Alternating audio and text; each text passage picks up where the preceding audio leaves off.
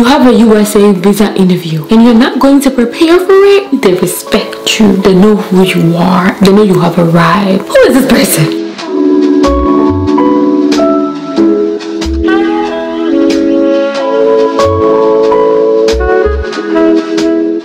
Guys welcome back to my channel. Jeanette here. I am back again with another freaking video. In my previous study abroad video I always share some things you should be doing if you have a US visa interview. In this video I decided to share with y'all some things you should not be doing. This is if you have an F1 visa interview B1 H1 all the ones a tourist visa interview whatever it is this video applies to you. You are not left out. If you want your visa accepted make sure you watch this video till the end. The first mistake I want to talk about you not being well prepared before the interview. Why? You want to come to USA. You have a USA visa interview and you're not going to prepare for it. This is a time you have to do a lot of research. Go online. We are lucky. We have Google. Google tells us everything we have to know. Look for common interview questions. I have a video on my channel explaining some of these common interview questions which show up. I provide some answers. With interviews, once you prepare, you are very confident. And yeah, I feel now I'm not from from um like you have all the answers. You've Googled, you've asked people about the interview process, you've spoken to people who know about the interview process. You will get this. Because once you get there you're speaking with the interview officer and he or she knows you know it all. Why will you go to the interview and give false information?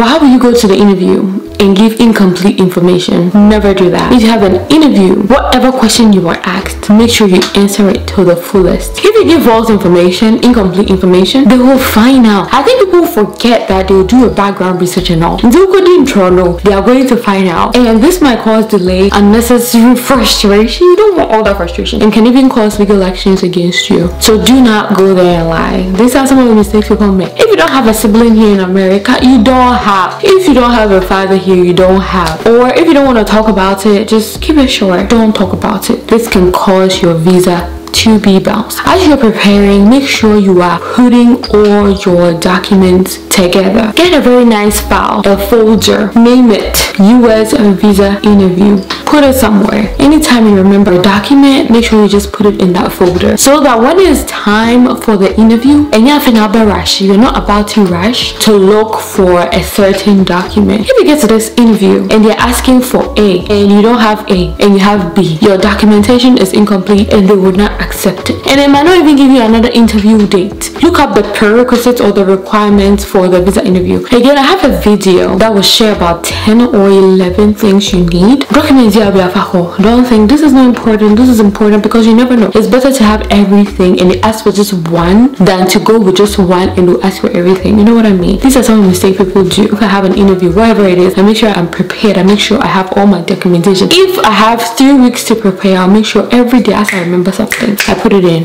the folder. Taking incomplete documentation will have your visa bounced. It, it can be one of the reasons why. Hey, I do it if I don't talk about it. Extra information. One thing I've realized about Ghanaians, or maybe not all Ghanaians, when we are asked one question that demands a yes or a no, we end up telling the whole story.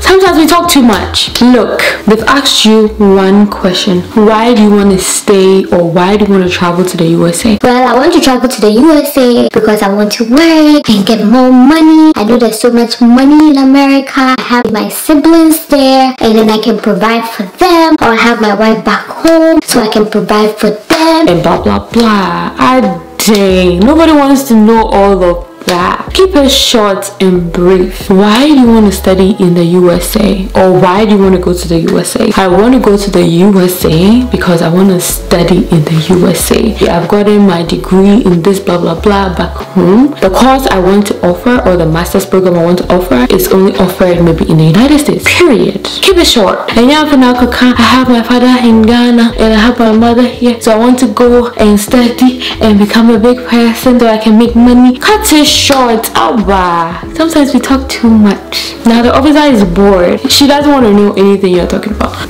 Denied because you know you can stay in your country, make money, and take care of your family, right? So all the additional information now come on extra information, they don't need it. If it's a yes or a no, yes No, period. Don't go and add a whole paragraph to it. They don't care. You're wasting time and it's a big mistake too because you might even end up saying things you don't have to say and then your visa will be bounced. People have been through it. Don't do it. Hey, this is something I witnessed, so let me talk about it. Arguing with a consulate officer, with your interview officer. Why are you arguing with your officer? Okay, you went there. They've asked you for this, this, and that, and you feel like this officer is very intimidating. Trust me, they can be very intimidating. I'm to he sometimes. Sometimes they do it on purpose, just to trigger you. They just want to know who you really are. Keep it calm, keep it cool. Why are you going to fight with the officer? The officer said, well, I think it's this and that. You're like, no, it's supposed to be this, this, and that. It's different if you know for sure this is what you're saying and you're confident rather than just arguing, going back and forth. When I was going to get my visa, there was this student. He got all his admission letters, everything, and I think he missed something. I don't know what because I wasn't at the interview. And then his visa was bounced. He was refused. He argued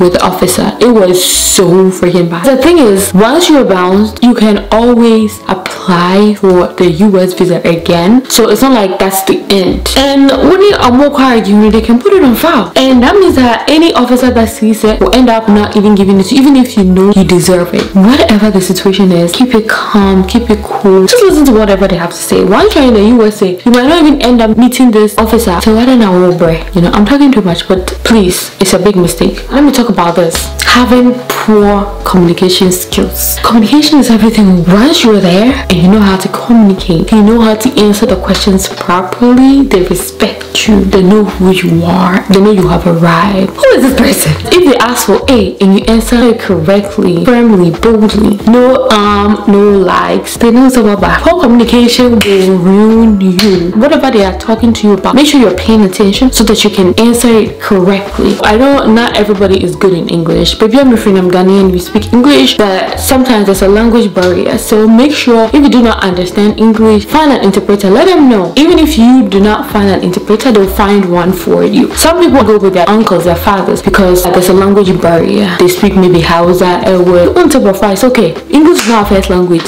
Find an interpreter, go with the interpreter, they will understand. And make sure they know you're coming with an interpreter. Hey, but also it's painful. I haven't experienced that, but I've heard people talk about that. So do not make that mistake. Appearing to be nervous. If you go to this interview and you are nervous, they know you were shaking. Oh, what's up, what's up? That all comes back to confidence.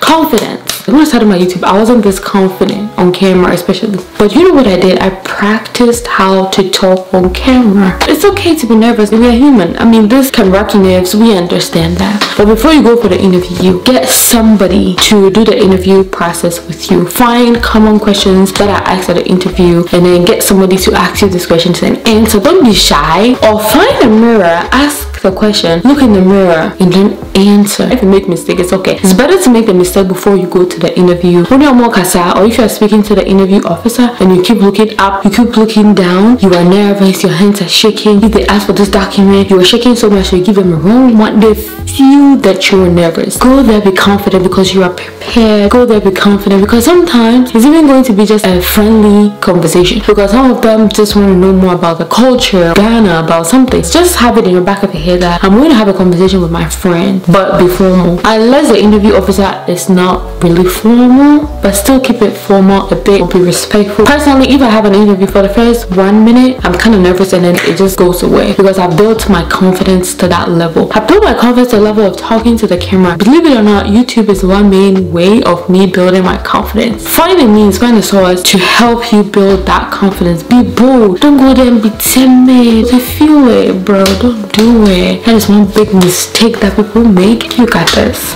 The very last thing I want to talk about is not carrying the correct application fee. Most of the time, if they ask for a certain fee, they do not accept cash. They have a form of payment. So do all the research to know how you can make payment. Sometimes they'll ask for bank statement. Make sure you know how much is supposed to be on the bank statement. If you're gonna check, I may not even remember how much I had on my bank statement. Also, for bank statement, you don't need just one person's bank statement. Some people join like two, three, four bank statements to actually get that amount they are requesting. Make sure before you go there, you know know how much you're paying, what fee you're paying, and also how much you have to have on the bank statement. That is going to save you so much. I think these are what I don't even know how many points I just talked about. So these are some of the mistakes people do that have their visa rejected. I always talk about the things you should do. These are the things you should not do. If you want your visa accepted, make sure you actually not do these things. I hope you guys enjoyed this video. Make sure you like, share, and subscribe. Whatever type of videos you guys want to see, make sure you leave it in the comment section. We are back and we are better. Anyway, I also just celebrated my birthday. Make sure you wish me happy birthday. And I love you guys so, so much. I'll see you guys in my next video. Bye.